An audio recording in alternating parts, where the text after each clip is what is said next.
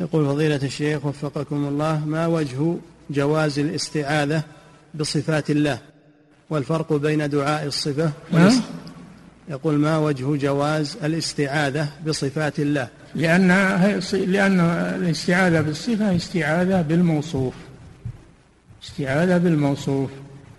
لأن صفات الله ليست غيره. هي تابعة له سبحانه وتعالى. نعم. وهل هناك فرق بين دعاء الصفة والاستعاذة بها؟